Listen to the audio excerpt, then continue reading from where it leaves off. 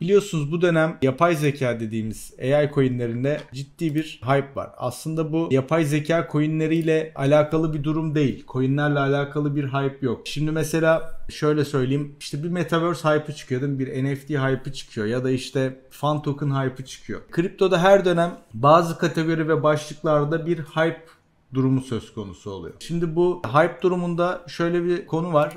İşte bunlar çok kısa süreli giriyorsunuz ve bir süre sonra o hype sönüyor gidiyor. Çöp oluyor gidiyor yani o hype. Sonrasında bitiyor. Burada yapay zekada şu an bir trend var ama bu bizim kriptonun trendi değil aslında. Yapay zekanın adaptasyonunun gerçekleştiği yıldayız. Bu bizim düşündüğümüz, öngördüğümüz şeylerden çok daha büyük. Çünkü bir, Elon Musk şu an yapay zekaya kafayı takmış durumda. E, şöyle genel olarak birkaç haberden göz atmak istiyorum. Mesela bakın Snapchat yapay zeka botu çıkarıyor. İşte Meta, Instagram ve WhatsApp'a yapay zeka ürünleri eklemek için yeni bir ekip kuruyor. İşte WhatsApp'a yapay zeka ile sohbet dönemi. Bak şimdi yapay zeka deyin haberlere gelin. Şöyle bir gündeme bakın arkadaşlar. Bakın Elon Musk ChatGPT'nin rakibini yapmaya çalışıyormuş. Şu anda dünyanın genelinde bir yapay zeka hype'ı trendi var. Yapay zeka aslında çok basit bir hype olarak kalacak bir şey değil. Çünkü gerçekten yapay zeka şu an hayatımızda. Mesela Spotify'da bir şarkı açtığınız zaman, bir şarkı dinlediğiniz zaman radyosuna gidip onun alternatiflerine gidiyorsunuz. Ya da size özel şarkılar hazırlanıyor. Aslında bunlar hep yapay zeka. Bir oyun oynuyorsunuz, FIFA oynuyorsunuz. FIFA ile yapay zekaya karşı oynuyorsunuz. Aslında her alanda yapay zeka çok gelişiyor ve bu mevcut bulunduğumuz yıllarda bunun trendi çok fazla artıyor ve bu kısa sürecek bir trend de olduğunu düşünmüyorum. Yani yapay zeka gitgide gelişecek. Özellikle chat GPT bayağı ses getirdi. Yani ciddi anlamda şu an hala keşfediliyor ve geliştirilmeye devam ediyor. Birçok iş yapılıyor işte yapay zekadan insan görselleri yapılıyor, metinler yazılıyor. Sanat içinde var olan bir şey. Dolayısıyla bu yapay zekanın ciddi bir trend olduğunu düşünüyorum dünya genelinde. Dolayısıyla da şimdi biz burada yatırım yapıyoruz ama yapay zekada bir şeylere yatırım yaptığımız zaman kripto alanında da yapabiliyoruz. Yani kriptoda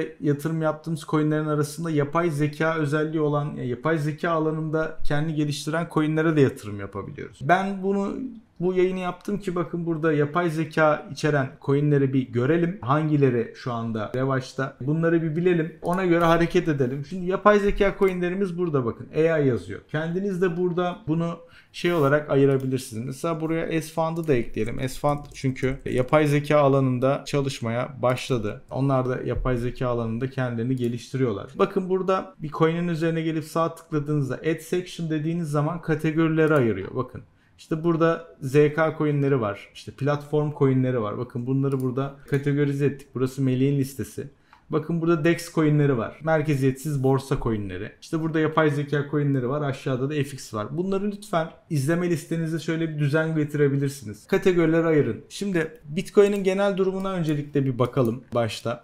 Şimdi Bitcoin'e baktığımız zaman şu anda e, henüz böyle yorum yapabileceğimiz bir seviyede değiliz. Bakın şu seviye şu anda direnç. Şu fitilin ucu direnç. Bitcoin'de 24 bin dolar seviyesine kadar bir yükseliş. Yükseleceksek devam edecekse buraya kadar gelebilir. Ama 24K'nın üzerine çıkmamız gerekiyor. Çünkü şuradaki direnci ben önemsiyorum. İşleme giriş için bakın destekte değiliz büyük bir destekte değiliz, dirençte de değiliz. Yani ürün şu an ortada. Yeni bir pozisyon almak için, yeni bir yatırım yapmak için aslında çok ideal seviyeler değil. Ama Bitcoin burada ne yaptı? Geldi şu seviyeye 22.300'e indi. Bu noktada alımınızı yapabilirsiniz. Buradan tepki gelebilir. Ya da işte buraya gelir. Buradan stop olursunuz. Aşağı iner. Şöyle bir hareket yapar. Şuraya gelir. Ya da alt stop olup alt destekten denersiniz. Ya da bu seviye kırılır. Hatta daha da kırılır böyle. Büyük bir yükseliş olur. Gelir buraya bir test yapar. Test yapması da yetmez. Şöyle bir hareketle oturur bu fiyatı artık yeni bir destek olarak benimser. Yani fiyat desteğe geldi al dirence geldi sat falan gibi bir mantık değil. Fiyatın bölgeyi benimsemesi, o bölgede oturması gerekiyor. Yeni işlem için setuplarımız bakın. Birinci setup, ikinci setup, üçüncü setup. Üç farklı fiyat hareketi planladık biz burada. Bu pi- Evet yani düşebilir de çıkabilir de. Yani bu düşebilir de çıkabilir de gerçekten benimsemeniz gereken felsefe bu olmalı. Ya bu düş gidecek ben buna gireyim. Bu düşecek ben bunu satayım. Bu değil. Her şey olabilir. Bunu benimseyeceksiniz. Hani sonra diyorlar ki inebilir de dedin çıkabilir de dedin. Zaten olay bu. İndiğinde nereye gelirse işlem için uygun, çıktığında nereye giderse işlem için uygun. Şimdi yeni yatırım için bu bölgelerde aksiyon almayı düşünebiliriz. Ama burada Bitcoin'den ziyade biz burada yapay zeka ürünlerini konuşacağız. Şimdi yapay zeka coinlerine şöyle genişten bir bakalım. GRT bunların arasında aslında popüler olan projelerden. Şöyle baktığınız zaman bakın şöyle bir genişten bakmak lazım. Şimdi yakından bakıyorsunuz tamam mı? Diyorsunuz ki abi çok yükselmiş. Hani bunu alamayız diyorsun. Ama günlükte haftalıkta baktığınız zaman aslında o kadar mikro hareketler yapılmış ki. Burada bu hep bahsettiğim devasa hacim barını görüyor musunuz? Bu devasa hacim barı evet bir şeyler geliyor demek bunda. Ama burada marjin işlem yapmaya çalışırsanız, kaldıraçlı işlem yapmaya çalışırsanız canınız sıkılabilir. Şimdi biz bu evreden başlayacağız. Bakın GRT'de şu yapı kırıldıktan sonra ne kadar temiz çalışmış. Günlükteki büyük düşen trend kırılmış, başlamış gitmeye. Peki Şimdi bizim burada destek direnç seviyelerimizi bir belirleyelim. GRT birinci coinlerin arasında gelir. Şimdi burası ilk destek seviyemiz. 139 seviyesi. Peki burası iyimser bir destek yerimiz. Yani şu anda yakın seviyelerden bunu değerlendirebiliriz. Aşağıda neresi var peki? Aşağıda ise piyasa çok düştü, öldü. Biz çok büyük sıkıntı yaşadık dediğimiz zaman 0.1 seviyesi. Peki birinci yapay zeka coin'i biz Burada projeleri bu arada araştırabilirsiniz. Gerçekten bir şeyler üretiyorlar mı? Topluluğu iyi mi? Hacimleri iyi mi? Kaç borsada var? Bunları bir araştırabilirsiniz seçim yaparken. Ne yapıyoruz? Buraya bakın. İlk alarmı atıyorum GRT için. Burası birinci alarmım. Burası da ikinci kaotik düşüşte. Artık ben burada oyun planımı kurdum. Dedim ki bu seviyeler alış için uygun olabilir. Bakın burası marjinde de deneyebilirsiniz. Spotta da deneyebilirsiniz. Spotta bir kademe buraya alış girersiniz. Bir kademe aşağı girersiniz. Peki gidebileceği dirençlerimiz neresi? Hareket alanlarımız. Bakın şurası birinci direncimiz. Şuraya ikinci direncimizi çizelim. Burası da önemlidir. Şurası da üçüncü direnç seviyemiz. Oldu da GRT'yi aldınız. Şu seviyelerden aldınız. Kademeli olarak spot olarak özellikle mesela şu seviyelerde kademeli satabilirsiniz. Hani geldi burada mesela yüzde kaç gitmiş bakalım yüzdesel oranlarına. Yüzde 45 gitmiş. Mesela burada yüzde 40'ını sattın. Geldi buraya buraya geldi. Burada %25 %30 daha sattın. Azıcık kaldı. Geldi burada o kalanını da sattın. Vedalaştın. Yani burada işte böyle bir gelecek vadeden bir şey yatırım yaptıysanız, uygun yerden girdiyseniz işte bunu hepsini bir anda satmayın çünkü giderse kahrolursunuz. Gerçekten çok büyük pamplarsa kahrolursunuz ama kademeli satarsanız hep içeride kalırsınız. Alt desteği inmedi mi? Abi o zaman buradaki trend kırılımını takip edeceğiz. Bak burada bir trend var. Şu fitili saymayın. GRT'de de Şöyle geldik. Şurada kırdık. Retest kesinlikle başarılı ama retest beklemeden de denenebilir. Hani ufak miktarda denersiniz. Retest seviyesine gelirse ekleme yaparsınız. Şöyle bir setup düşünün. Şuraya geldi. Stopunuzu şöyle %2,5 koydunuz. Ortalama trendin %2 altına koymak lazım. Çünkü şunu çok yapıyorlar trend kırılımlarında. Geliyor buraya trendi kırıyor. Şöyle bir silkeleyip devam ediyor. Bu çok yaşanıyor. Trendlerde meşhur bir silkeleme hareketidir. GRT'yi de böyle takip ediyorum. Bunun için de şuraya da bir alarm kuruyorum. Bu GRT'ydi. Beğendiğim birinci coin GRT yapay zeka alanında. İkincisi AGX çok meşhur. Bunun spotuna bakacağız. Çünkü marjinde çok şey değil genel baktığımız zaman bütün destek seviyeleri 330'a işaret ediyor. Bakın seçim yaparken tek bir fitilin yanında ikinci bir onay yeri arıyorum. Bakın eski tepe. Burası bir dirençmiş. Bu direncin sonunda patlama yapmış ürün. Şimdi gelmiş burası iyi bir destek olarak çalışmış yaklaşamamış bile. Şimdi biz elimizde çok güçlü bir destek olduğunu biliyoruz. Bu seviyeler bakın 340 seviyelere benim spot olarak değerlendirdiğim yani hani çok oturaklı seviyeler. Birinci seviyesi burası bu AGX'in. İkinci olarak bakın şurada bir trend yapısı var. Aha bakın kaçmış mesela. Ne kadar elle tutulur. Bakın ilk başta dipteki yatay desteğimizi çiziyoruz. İkincisi giden hareket etmekte olan üründe trend çizgilerimizi çiziyoruz ki trend yapılarında nerelere çarpabilir edebilir. Bu kaçmış artık geçmiş olsun. Marjin ya da spot çok hareket alanımız yok. Dolayısıyla da bunda yapacağımız tek şey tekrardan bunun desteğe gelmesini beklemek. Şöyle bir destek bekleyebiliriz. Şu seviyeler tekrar destek olarak çalışacaktır. Buraya gelirse bir işlem düşünebiliriz. Bunda da şu trendi biraz yukarı kaldırıp şu trende bir alarm çiziyorum bakın. Kendim analiz yapıp coin alırken böyle işlem yapıyorum. Trendde çekiyorum şunu birazcık yukarı. Planımı yapıyorum. Önden alarmlarımı kuruyorum. Alarm çaldığı zaman işleme giriyorum. Karanlık bir ayı yaşamamız durumunda da bu destekler kırılacaktır. Onda da bu seviye Ha gelmez büyük ihtimal. Ama oldu da geldi. Yani elbet şu yaşansa bile bakın bu gelmezcilik buraya inmezcilik yapmayın. Hani gelir buralara iner tamam mı? Şöyle bir yapı çizer. Crash bir bakmışsınız burada. Ya bu olabilir. Bu oluyor markette.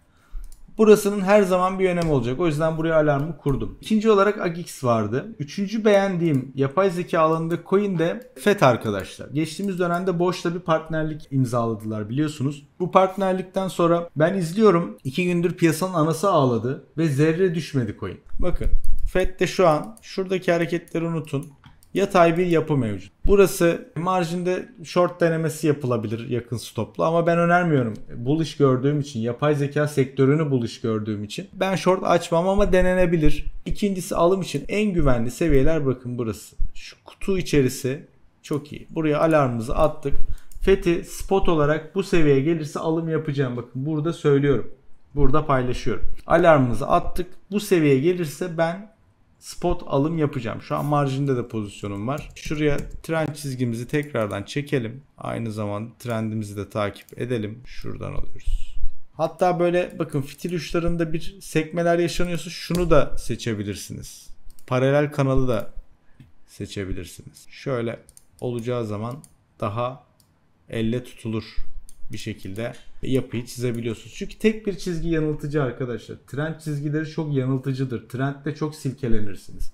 O yüzden mesela iki günde birkaç eğitim izleyip trendi kırdı gir falan diye böyle bize geçen e, arkadaşlar var ama trendin yapısını tanımak lazım. Trend dediğiniz şey öyle tek bir çizgiyle olmuyor. Oradaki yapı önemli. Bu trendi de çizmenizi öneriyorum. Bakın burada yükselen bir trend var. Şu an ürünün trendi yukarı. O yüzden bu fiyat hareketlerinden çok etkilenmiyor. Takip ediyorum. E, FED, Agix, GRT bunlar en beğendiğim projeler bu. SDAO neymiş mesela bakalım. Yani çok sevdiğim yapılar değil. E, mesela bu giren hacim geri çıkmış. Bu biraz mal boşaltma hareketidir. Bakın büyük bir hacim, büyük bir hacimden sonra büyük bir mal boşaltma hareketi. Ben bunu beğenmiyorum. Destek neresi derseniz bakın bu üründe de destek şurası. Takip edenler stoplu düşünebilir. NMR çok eski bir proje. Ben girdiğim dönemden beri NMR var bu sektörde. Bitrex'te trade ediyorduk biz bu coin'e. Fiyat çok olgun değil. Bunda da şöyle bir yapı var. Yükselen bir trend çizmiş bu da mesela. Bu coin'i takip ediyorsanız herhangi bir bilgim yok. Sadece hani yapay zeka kategorisinde var olduğu ve market cap'i biraz yüksek olduğu için söylüyorum. Bunu da trade etmek isteyen arkadaşlar yükseliş trendini düşünebilir. Bu seviyenin altı stoplu ama çok uzak stopları. Yani bunda herhangi bir işlem şey yapamıyorum ben. S-Fund benim zaten yatırımcısı olduğum, ön satışlar için tuttuğum bir proje. Mesela S-Fund'da şöyle bir yükseliş trendi başlamış. Bu trend yapısı üzerinde 1.06 civarında desteği. S-Fund'ı da yapay zeka alanına girdiklerini, yatırım yaptıklarını duyurdular. E, o yüzden S-Fund'ı da takibe almak lazım. Ben tutuyorum spot olarak. Rose'un yapısını çok beğenmedim. Rose'da bir yükselen trend yapısı var. Bu yükselen trend yapısı kırılmış. Bu yükselen trend yapısı kırıldığı için burada biz alt destekleri arayacağız. E, alt desteklerde de bizi karşılayan bölge şu seviye bana elle tutulur geliyor. Rose'da bu seviye genelde hem yatayda güçlü bir destek hem de trend kırılımında ilk güçlü yatayda biz aksiyon almayı bekleriz. Şuraya kadar da bir gelmesi mümkün. %2 stop 3 3.3 arı var. Şuraya alarmı atıyorum. Bakın Rose denenebilir. Güzel bir destek burası. Bir de Ocean var. Ocean'ı başarılı buluyorum. Ocean'ı yardırdıklarını biliyorum. Bunda mesela trend kırılmış. Bunda da yapı bozulmuş. Ocean'da destek görevi görebilecek seviye şurası. 325 bakın. Şu zorlu günleri aşmış. 325. Bunda da 328 seviyesini Ocean'da değerlendirebiliriz. Bu arada Mina yapay zeka ya mı yanlıyor tam bilmiyorum ama Mina ile alakalı da şöyle bir zaten şeyim çizimim varmış. Mina'yı takip eden arkadaşlar sordunuz baya. 89 destek seviyesi. Bu arada bunu da beğeniyorum. Mina'da da çok iyi bir trend var. Başarılı gidiyor. Mina'da da 89 seviyesini ben önemsiyorum. 89 seviyesine bir alarm attım. Yapay zekaya kayarlarsa biz de bunu buraya kaydırabiliriz. Ama benim en beğendiğim hangi iki proje derseniz GRT, FET, Agix ve Ocean sırasıyla benim beğendiğim yapay zeka projeleri. Bunlar arkadaşlar. Yapay zeka ile alakalı gündemimizi de böylelikle şey yapalım.